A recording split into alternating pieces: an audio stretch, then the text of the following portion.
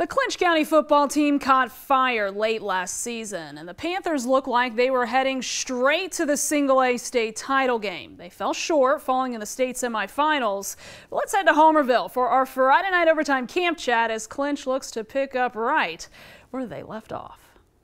The Panthers open up against three talented non-region teams this season, and with talented Brooks and Irwin counties faced in back-to-back weeks, weeks late this year, the relatively young Panther squad will be put in some tough situations.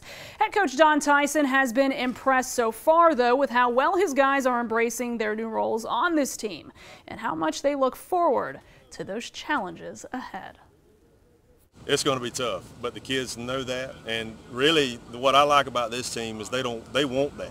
They they love competing. They love getting out here and working, and uh, and they want to see how good they are. They want to play, and they want to play teams that are good. It's going to show who really want it more, and I feel like us coming so close to winning last year, I feel like that's going to show that we really hungry and we really want it.